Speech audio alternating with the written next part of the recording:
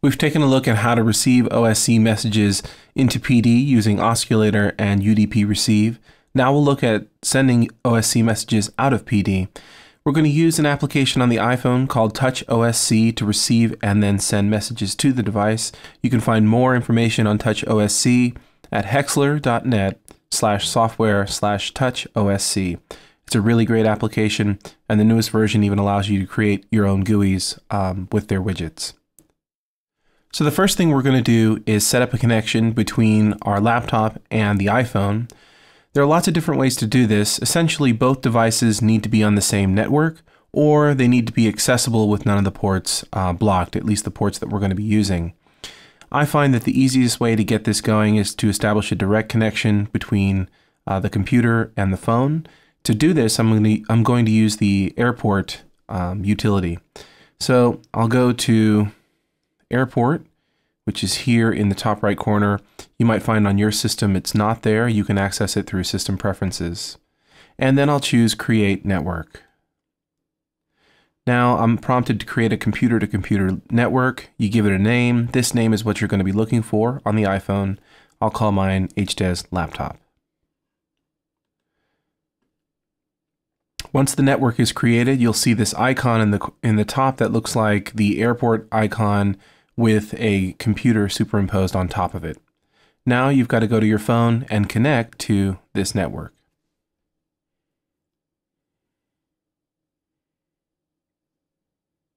Go to System Preferences on your phone, then go to Wi-Fi, and then look for the Wi-Fi to be sniffed out and you'll find the network here, HDEZ laptop. Once it's connected, we can go to TouchOSC.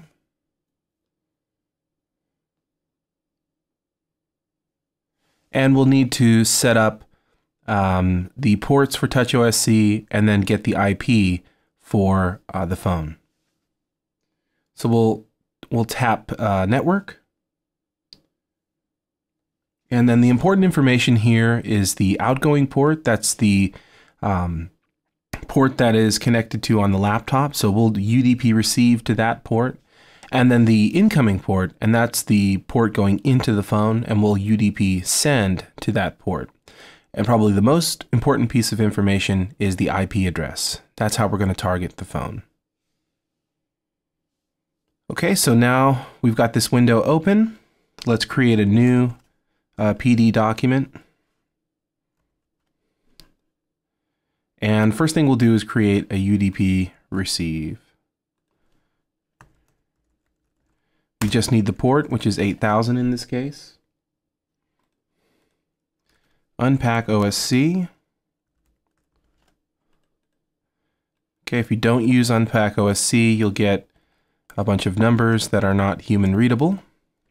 So you need to use that, and we'll use a print object to take a look at the output. Okay, head over to the output window and let's press some buttons on Touch OSC.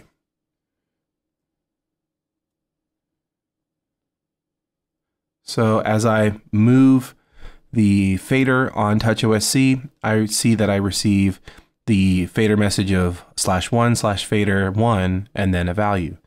So if I want to send a value from PD to make the fader move via software on the computer, I'll do the following. UDP send. We won't type the network address here. We'll put a toggle underneath it. This is a Boolean that will show us when we're connected and when we're not. So when it's connected, you'll see an X. When it's not, we won't see anything. We'll create a message, connect the IP address of the phone. So we'll go back to the preferences of TouchOSC.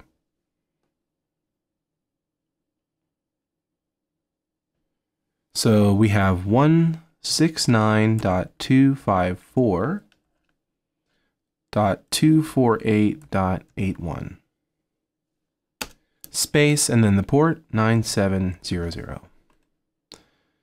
Connect that to the inlet of UDP send, create another message of disconnect.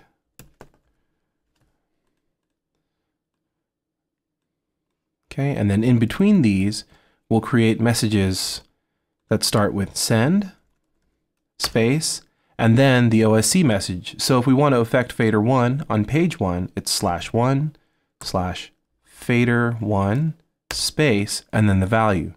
Let's say 0.2. Before we connect this to UDP send, we'll create pack OSC and connect the send message to pack OSC and then pack OSC to UDP send. Okay, first let's connect to UDP send. Head over to the phone.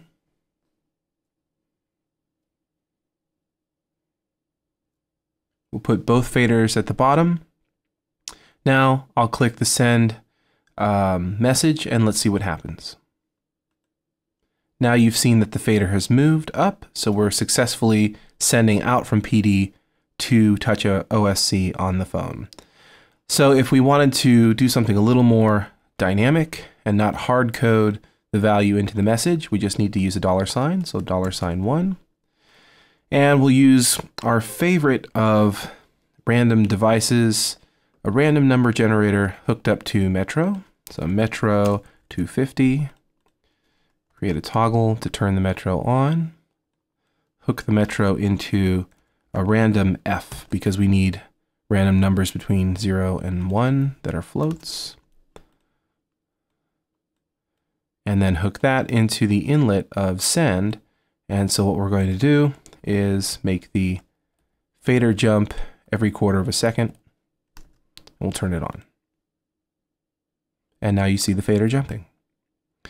So obviously you'd want to do something a little more meaningful with uh, the connection of TouchOSC to your particular PD patch, but this will get you started in figuring out how you're going to send feedback from PD to TouchOSC because the idea here would be to create some sort of not only input mechanism into PD uh, so that you can control a computer remotely, but also so that you can get feedback on various states of your application or your environment.